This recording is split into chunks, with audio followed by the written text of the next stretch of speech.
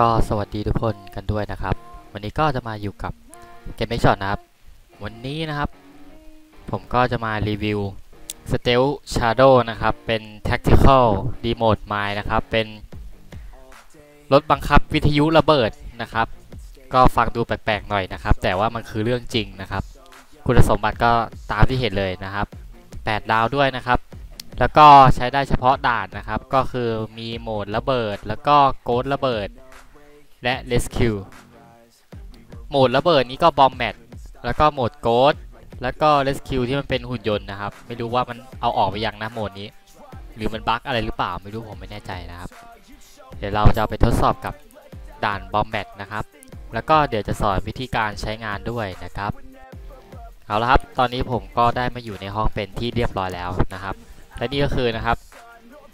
ระเบิดรถบังคับวิทยุของเรานะครับ และเกมเป็นเฮียอะไรค้างเนี่ย เอาเฮ้ยกูจะอัดคลิปที่ไรแม่งค้างทุกทีเลย โอ้โหนอนレスปอนอะไรวะ อ่าผมกลับมาแล้วครับ ไม่รู้ว่ามันเป็นอะไรเวลาจะทำคลิปแม่งชอบค้างนะครับ ผมก็ไม่ทราบสาเหตุเหมือนกันนะครับ แต่ก็ช่างมาเถอะนะครับ และนี่ก็คือรูปร่างหน้าตาของรถบังคับนะครับ รถบังคับระเบิดนะครับ วิธีการใช้งานนะครับก็คือคลิกซ้ายค้างไว้นะครับ อ่าอย่างเช่นศัตรูเรารู้ใช่ไหมว่าศัตรูมันหลบตรงนี้ หรือว่าตรงนี้หรือยืนในฐานนะครับ ให้เราทำการกดระเบิดนี้ขึ้นมาครับ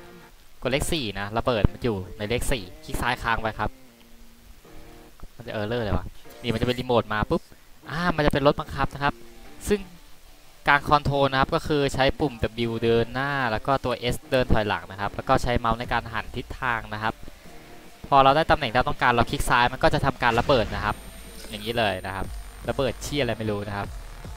ซึ่งอ่ายังไงเดียไอสัตว์แล้วมมันจบเกมให้กูเนี่ย เห็นตัวไก่ผมหรือเปล่าครับ เลือด 100 เกาะ 150 นะครับ ผมจะลองระเบิดดูนะครับ ว่าเลือดจะเหลือเท่าไหร่ ตายนะครับ ทีเดียวตายนะครับ เลือด 100 เกาะ 150 ทีเดียวตายนะครับ ถ้าเกิดเลือดเยอะกว่านี้ผมก็ไม่แน่ใจว่า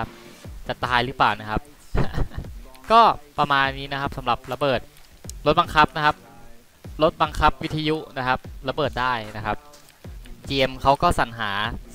สรรหาทำเอามาลงขายในโปรโมชั่นนะครับ ไม่รู้ว่าถ้าเกิดเอาไปใช้เล่นจริง ๆ จะได้ผลหรือเปล่านะครับ อ่าแป๊บนึงนะ ผมลอง นี่ก่อน เอาตัวไก่ไปยิงดูว่ามันจะระเบิดเปล่าอ๋อยิงแล้วมันระเบิดนะครับ สาหัสอยู่เหมือนกันนะเนี่ยเลือดเหลือหนึ่งนะครับ ก็มีข้อเสียนะครับก็คือถ้าเกิดฝ่ายตรงข้ามเห็นฝ่ายตรงข้ามสามารถยิงให้มันระเบิดได้นะครับสำหรับคลิปนี้ก็ไม่มีอะไรมากนะครับ ก็คือมันแปลกดีนะครับ ก็เลยเอามาลงดูนะครับ ก็ขอโทษด้วยนะครับ ที่ไม่ได้ลงคลิปหลายวันนะครับ ก็ถ้าใครชอบคลิปนี้ก็อย่าลืมกดไลค์กดติดตามไปด้วยนะครับ เดี๋ยวไว้เจอกันคลิปหน้านะครับสำหรับคลิปนี้ก็สวัสดีนะครับผม